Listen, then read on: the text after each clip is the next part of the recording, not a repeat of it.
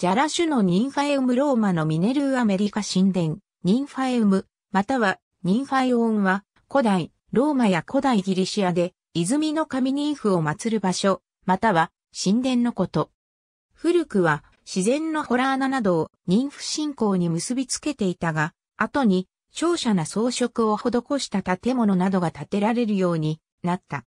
初期のニンファエウムは、ジャラ種のもののように泉があった崖などを利用して、大理石などを用い全中式の半円形の壁面を作り、壁面には心臓などを安置する壁岩を設け、最上部には半ドーム風の屋根を設けたような形状のものであった。この建物を全体として巨大な壁岩と見ることもできる。後に道路などに面して自立した半円形の建造物が建てられることもあった。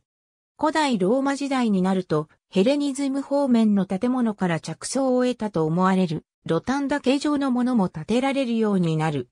建物内部に設けられた壁画には心臓や絵画が飾られ、内部の空間は信仰の場所として、あるいは集会所などとして使われることもあったと考えられる。ありがとうございます。